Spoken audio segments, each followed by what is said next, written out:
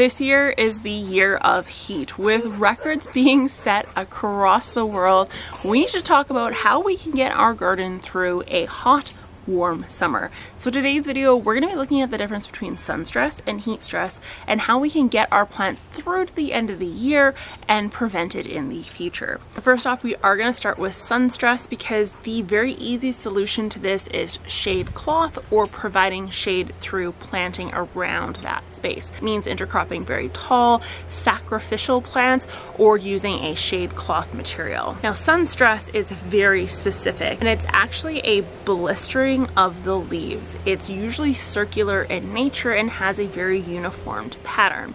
What I will say about the burning of the leaves is that it is a yellow or white burn and is not brown or black. There's a big difference there. And in some cases with things like zucchini or melons, you may see a physical blistering or an air pocket of sorts underneath the leaves almost looks like powdery mildew, but it's not. This is from sun stress.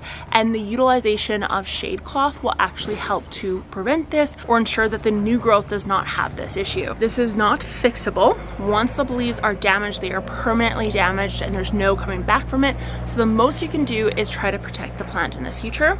If you're wondering if it's time to maybe restart that area with something different, the rule of thumb is if more than 30% of the plant is damaged, then you are beyond the uh, repair zone and you might want to start off fresh. That is just the nature tax is 30% and you're safe anything above that and we're kind of in a danger territory. Heat damage is actually pretty obvious when it comes up. However, it can look like a few different things like curling or drooping leaves.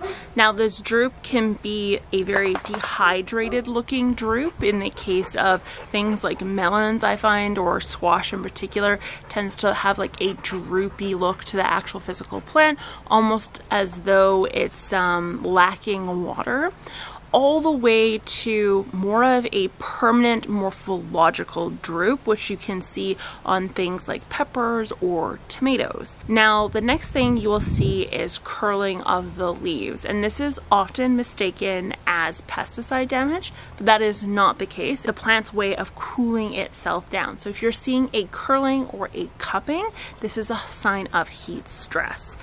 The other heat stress symptoms is actually the dropping of blossoms or after they've fully matured, if they're dropping and not turning into anything, this is a sign of heat stress.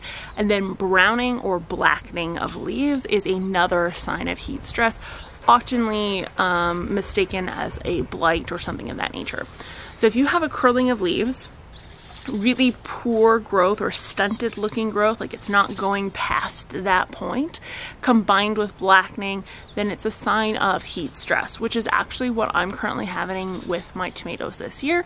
And many of you have reached out with photos kind of in and around my area, all of which are having that heat stress symptom. I'm using this to charge my camera while filming.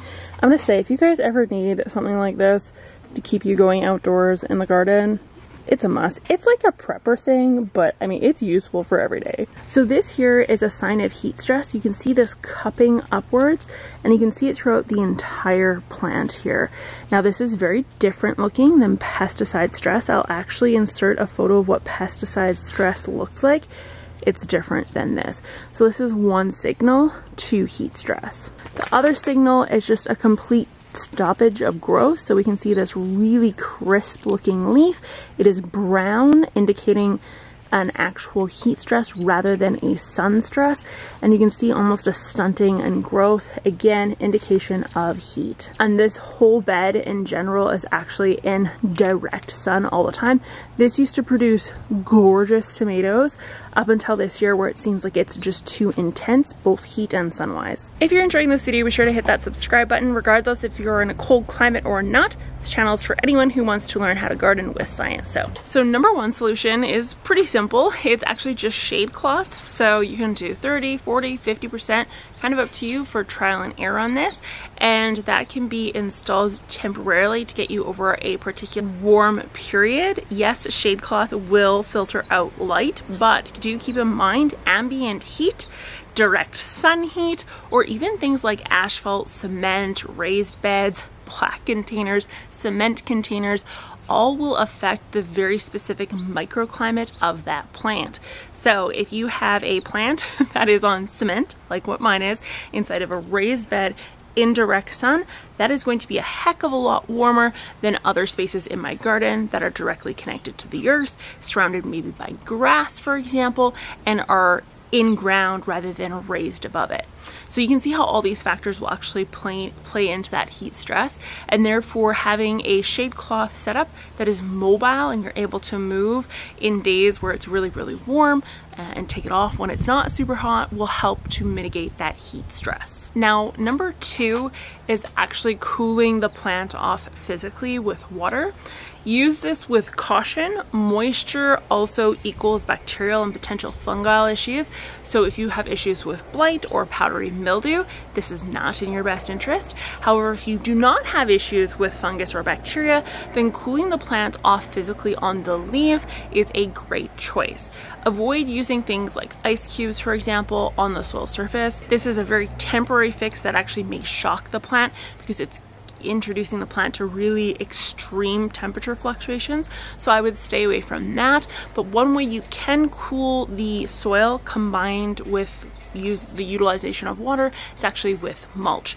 Now the mulch you want to have pretty thick, one to two inches, and the thinner the better. So things like braids of, blades of grass, um, straw that has been shredded in some way. Avoid things like wood chips because these classically don't cool the soil as effectively as something that's very um, shredded and small, homogeneous type mix. Now, if you're using a cloth or a terracotta pot, you may want to consider actually sealing that terracotta or putting a bag or some sort of moisture capture around the cloth bag.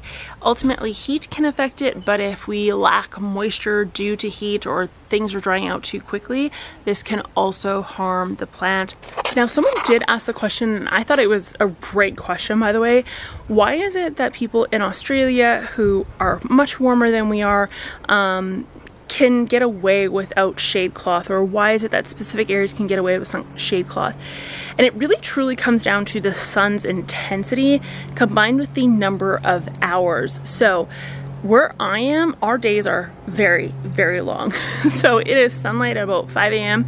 and it is still pretty much sunlight here sometimes till 10 p.m. at night, meaning actual physical shade is very few and far between.